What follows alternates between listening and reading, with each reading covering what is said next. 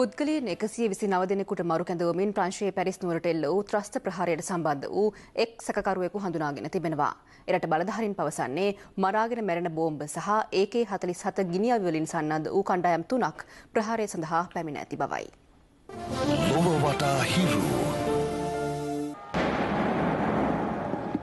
ත්‍රස්ත ප්‍රහාරයෙන් වැඩිම ජීවිතහානයක් වාර්තා වූ බැටක්ලෑන් රංගශාලා වසල තිබූ ත්‍රස්තවාදියකුගේ සිරුරක අනන්‍යතාව තහවුරු කර ගැනීමට ප්‍රංශ බලධාරින් සමත් වුණා. ඔහුගේ ඇඟිලි කොටසක් ආධාරයෙන් එම පුද්ගලයා හඳුනාගෙන ඇති අතර ඔහු ඕමාර් ස්මයිල් මොෆ්ටෆායි නම් විසිනව හැවරදි ප්‍රංශ ජාතිකේ. මීට පෙර ප්‍රංශයේ සිදුව අපරාධ රැසකට සම්බන්ධ පුද්ගලයෙකු වන ඕමාර් ස්මයිල් දෙදහස් දහ හතර වසරේදී සිරියාවේ සංචාරය කර ඇදැයි බලධාරින් මේ වන විට පරීක්ෂණ සිදු කරනවා. විදෙස් වාර්තා පැවසුවේ ඔහුගේ පියා සහ සහෝදරයා අත්අඩංගුවට ගෙන ඇති බව. මෙතර ප්‍රහාරයට සම්බන්ධයයි සැකපිට බෙල්ජියමේ ලියාපදිංචි මෝටරතයක ගමන් කරමින් සිටි තවත් පුද්ගලයින් තිදෙනෙකු ප්‍රංශ බෙල්ජියම් දේශසීමාවේදී අත්අඩංගුවට ගෙන තිබෙනවා. අසු නව දෙනෙකුට සිය ජීවිත අහිමි කරමින් බැටක්ලෑන් රංගශාලාවට මෙම ප්‍රහාරය එල්ල වූයේ ඇමරිකාවේ සුප්‍රකට ඊගල් සංගීත කණ්ඩායමේ ප්‍රසංගයක් පැවැත්වන අතරතුරදී.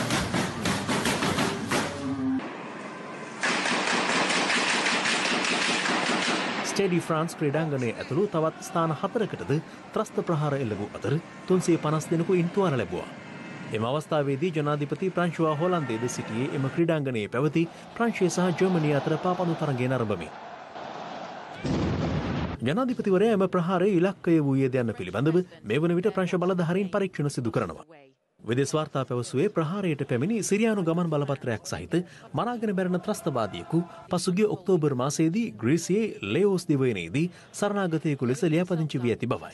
සෙසු ත්‍රස්තවාදීන් හත් දෙනා පිළිබඳ අසල්වැසි ජර්මනිය ග්‍රීසිය සහ බෙල්ජියමද පරීක්ෂණ අරමා තිබෙනවා. Les commanditaires, leur parcours et les financements de ces opérations.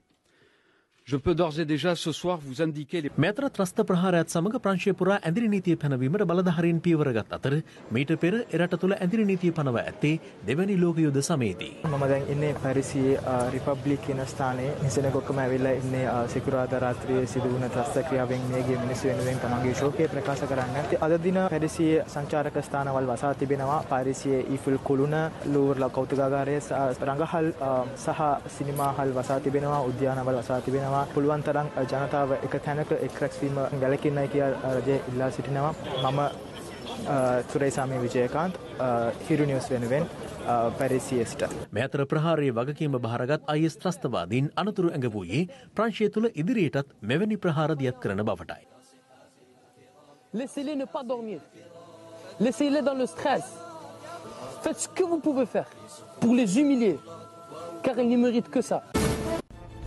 හිරු රාත්‍රී හතෙන් අදට අපි සමුගන්න. පැත්තක් නැතුව ඇත දැනගැනීම ඇතිය තවදුරටත් තහවුරු කරගන්නට ඔබේ ජංගම දුරකථන ජාලය අනුව තිරේ දෙසන පරිදි හිරු ප්‍රවෘත්ති SMS සේවාව සක්‍රිය කරගන්න.